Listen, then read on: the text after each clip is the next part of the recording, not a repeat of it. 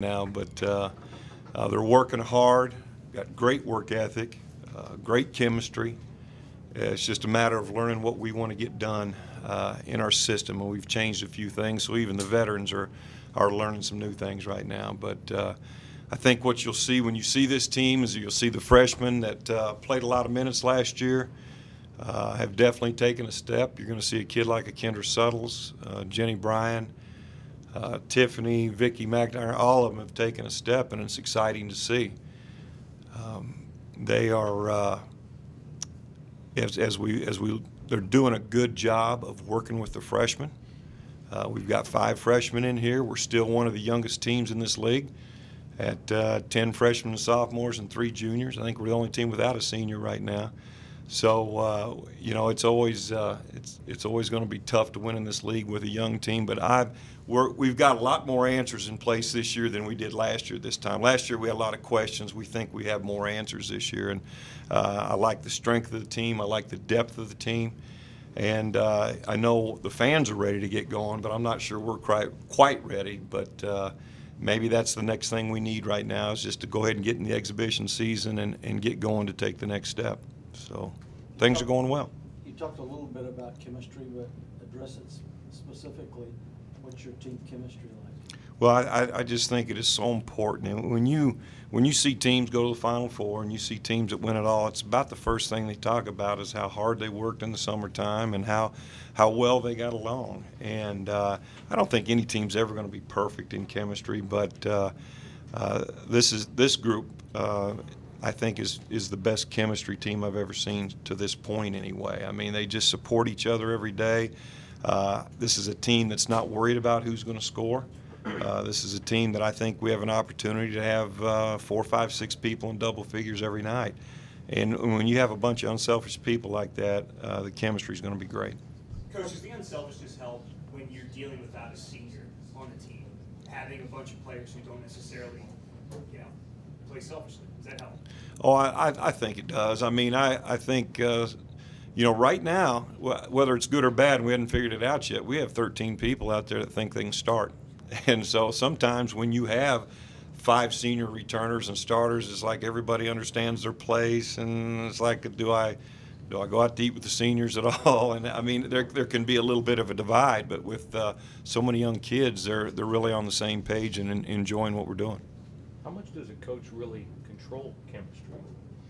You know, um, I, I, think a staff, and we do a good job as a staff, um, trying to uh, do projects with the team, go to hospitals with the team, have uh, have uh, we have nights of dodgeball that we meet up here and play dodgeball and just do little things away from basketball to uh, try to get them to know each other just a little bit better, trust each other just a little bit better. So the staff can help that for sure.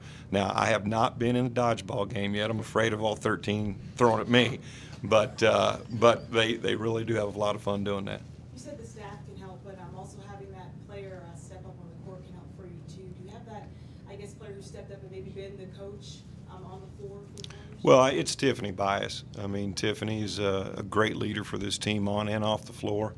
Um, all you have to do is watch her play to see how uh, she leads by example. It was hard for her last year, really, as a true freshman point guard in this conference, to jump out and then just be the leader from day one. It's hard on freshmen to be able to do that, and she did a nice job of it last year. But uh, she's kind of taken over this team now, and and uh, right now she, you know, she's the face of this program and doing a great job of leading on and off the floor. Toni Young's broken arm. How'd she progress over the summer? Where is she at right now? Well, Toni's behind. Toni's behind right now. Uh, you know that arm basically was snapped in half, and and uh, uh, she's she's not uh, where she needs to be. She's about I'd honestly say about 60% right now. Uh, our goal with Toni is to uh, get her 100% by January. you know, by not that these first games don't matter because they do, but we all know how tough the Big 12 is, and we want her 100% by then. So we don't want to do anything early that's going to keep her from getting healthy. So if that means holding out of games, we're going to hold her out of games until we feel very confident that she can get out there and play like the Toni Young we saw last spring.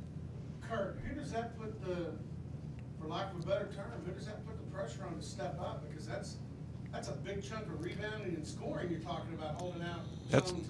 That's a few points right there. It is. So, uh, And rebounds too. Well, you know, Robert, um, I think what you're going to see again is you're going to see how everybody took a step now, and uh, you're going to be surprised by what Kendra Suttle's doing right now at Lawton, Oklahoma. She has been the best scorer and the best player in the gym now for about two straight weeks, and and uh, you're going to see a kid that uh, really didn't hardly do anything for us last year jump up and be a player immediately. But it's not just on her. I'm going to go back to what I said a minute ago. I believe that we can have five people in double figures every single night, and you're going to see some of these freshmen jump up and help us immediately. With Kendra in particular, because you talk about Toni, the severity of the arm, part of that's mental too. Absolutely. Kendra had the knee injury. Is she maybe a little further past that knee injury mentally now into this year than she was when she first broke in? Absolutely. And, and you know, the bottom line is they're comparing Toni's injury to an ACL. Of it is a lot of it is mental of man if I if I fall is it going to break if I set a good strong screen is it going to snap on me and and and so she is battling a little mental uh, uh, toughness right now with it but she should it, it was a it was a tough injury and uh, but Kendra has changed her body over the summer Kendra has uh, changed her shape over the summer, and she's uh, she went through being a freshman last year, not knowing where she belongs. Right now, she knows where she belongs. Any other questions for Coach Cochi? Last thing, Coach, um, if there was one blemish, I guess, last year that kind of sticks out, I know that you touched on this in the Big 12 conference, but uh, you guys lost seven games in the last five minutes, had a little trouble closing out there. How exactly do you feel you go about improving that this year? And how are you confident that that's going to change different? Well, I mean, this is something we do talk about almost every day. Of you know, basically the theme of this team is just to finish, do a better job of finishing, and and I think part of that is going to be addressed just by experience. You know, you know, at key times in those games, we had three freshmen on the floor, and you're playing teams like an A and M and a Baylor and those kind of people that that uh, were loaded with seniors and upperclassmen at least that knew how to finish games. So I think experience has a lot to do with it. But we'll we'll do uh, more situation basketball. Put us in those situations of you know during a practice time of two minutes down four, what do we do? Two minutes up four, what do we do?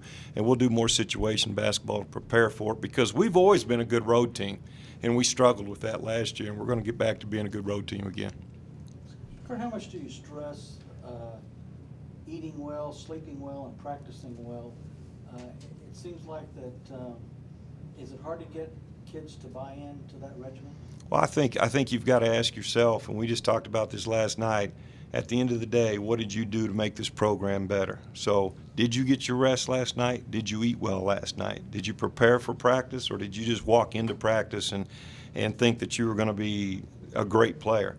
I mean, this this game really can't leave your mind very much, and and uh, to be at, at a championship level or a Sweet 16 level, um, you've got to constantly be asking yourself, what can I do better? And look in the mirror just a little bit more. And I think, uh, I think the girls last year were just so kind of stunned by being freshmen playing in the best league in America uh, that they really didn't know how to, what questions to ask and, and how to answer them. But I think, again, I think we'll go back. We got more answers this year. Is the strength and conditioning aspect of it getting any easier to to push and, and they, buy-in on that? They, they really buy in. Nicole Heisel does an unbelievable job with women's basketball, best I've ever had in 27 years of coaching, and they they buy in uh, partly because they know they now know how strong they have to be to win in this league, but they buy in because he's a great teacher down there also, and and uh, they enjoy working with him every day. Anything else? Thank you, sir. Thank you all very much for being here. Appreciate it.